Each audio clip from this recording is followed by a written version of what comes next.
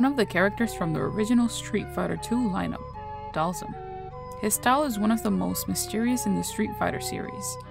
He is a diverse character that has the ability to stretch and even throw fire flames out of his mouth.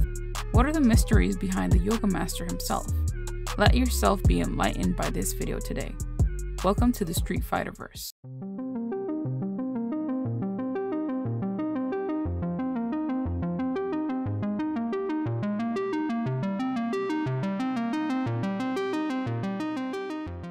Dhalsim got his name from an Indian restaurant called Dal's in Osaka near Capcom's office.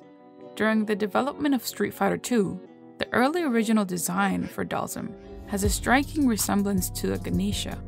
Ganesha is also known as a Ganapati and a Vinayaka. It is one of the best known and most worshipped deities in the Hindu pantheon, although Ganesha has many attributes. He is readily identified by his elephant head, he is widely revered, more specifically, as the remover of obstacles, the patron of arts and sciences, and the deva of intellect and wisdom. A picture of Ganesha can be seen in the background of his Street Fighter II stage. Lead designer of the Street Fighter II, Akira Nishitani, stated in an interview that the concept of Dhalsim's ability to stretch his limbs comes from the ripple zoom punch technique from the manga series JoJo's Bizarre Adventure. This is reconfirmed in the comment section of Dhalsim's biography and the Street Fighter X Tekken Artworks art book.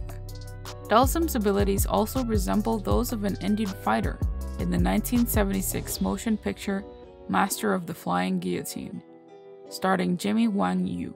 Like Dhalsim, the fighter in the movie used a yoga based fighting style and had the ability to extend his limbs to attack Dhalsim also has the ability to breathe fire in various ways.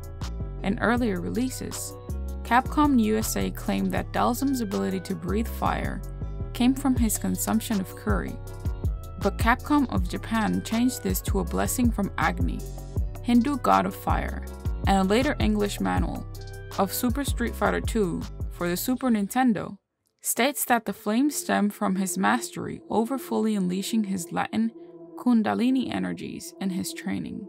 Kundalini is described as a sleeping, dormant potential force in the human organism.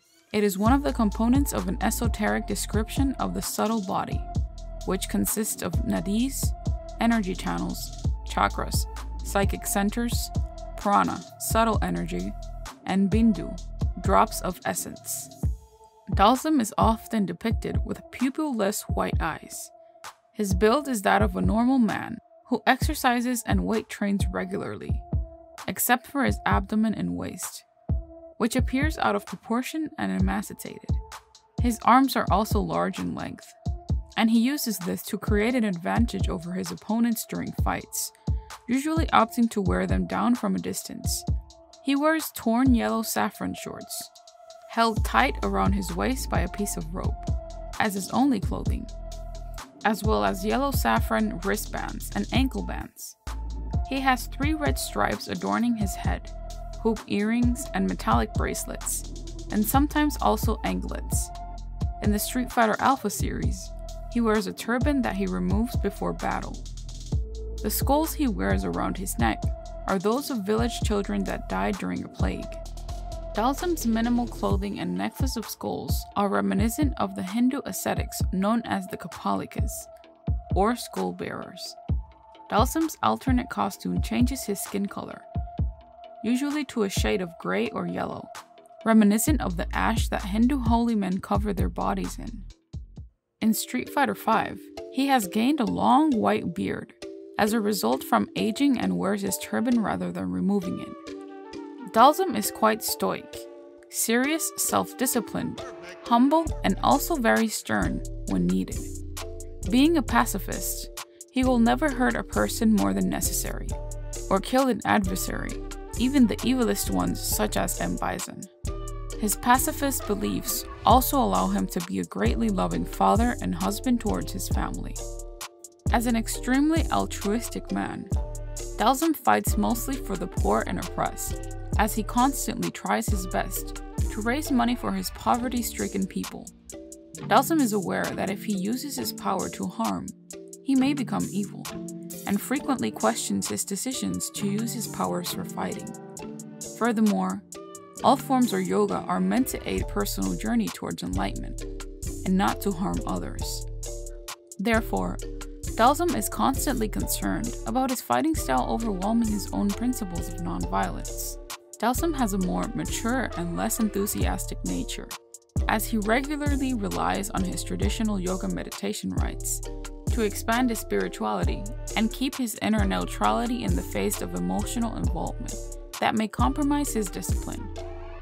Dhalsim always remains calm and serene. When he fights, he is always in a constant state of meditation, so he can focus on the opponent. He rarely speaks to his opponents outside of calling his attacks, and when he does, his words are riddles that leave the foe confused about his or her own being.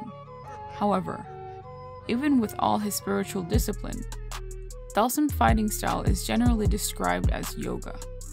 Dhalsim is the original long-range fighter of fighting games. His intense training has given him the ability to contort and extend his limbs into forms physically impossible for a normal human. He can project his arms and legs outward in order to deliver attacks that would be out of the range of normal limbs, and he is capable of teleporting to maintain distance from his opponent. Dhalsim is from India.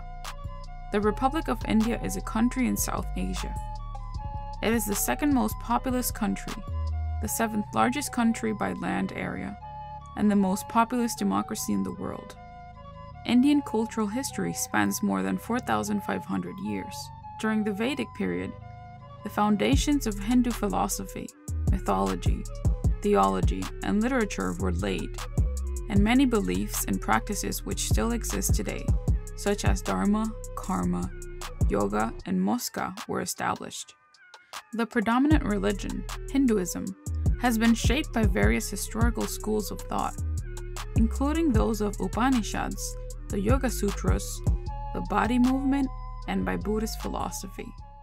Hinduism is a diverse system of thought, marked by a range of philosophies and shared concepts, rituals, cosmological systems, pilgrimage sites, and shared textual sources that discuss theology, metaphysics, mythologies, Vedic yajna, yoga, agamic rituals, and temple building, among other topics.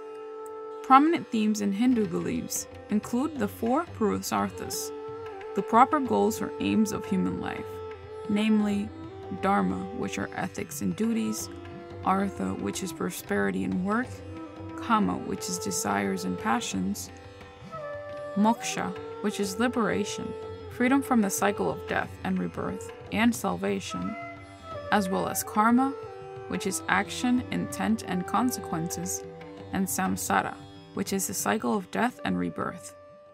So, what do you like about the Yoga Master himself? Let us know in the comment section down below. Don't forget to subscribe and hit that notification bell to stay up to date on new theories and info. Thank you for watching. This was your Street Fighter host. Welcome to the center stage.